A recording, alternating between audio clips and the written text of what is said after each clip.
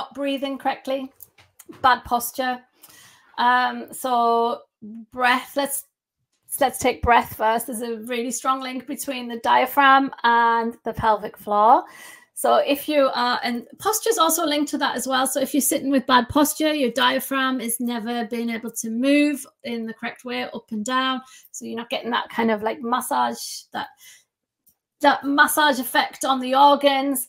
And there should be a um, a reactive relationship between the diaphragm and the pelvic floor, which gets switched off as soon as you bend into bad posture. So, posture is really important, and breathing correctly is really important as well. So, getting that nice, full, deep belly breath so the diaphragm can drop down. And then, as the diaphragm lifts up as you exhale, it should be kind of a, a tension created in the pelvic floor because the whole unit lifts. And then, as you ex, um, inhale, it and then exhale it lifts and then inhale it drops so there should be that nice unit lifting up and down as the diaphragm lifts up and down and a lot of people have got that all disconnected or have a call a twisted breath pattern where um where you breathe when you I can't do it because I've spent so long training not to do it but it's when I'm gonna let me try and see if I can do it breathe in.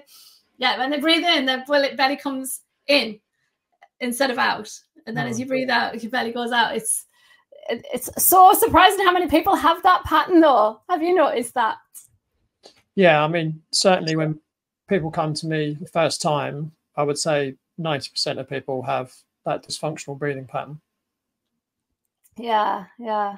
And it's it's that and, and of course as you know and um, the breath is obviously um connected strongly to the fight or flight response which if you've got if you're not breathing correctly uh, then your body's in a complete stress response because oxygen is its main source of fuel and um, it's quite stressful for the body not to be breathing correctly. So when that happens, you've got that tension that's created because the nervous system's in fight or flight, which then shuts down the pelvic floor.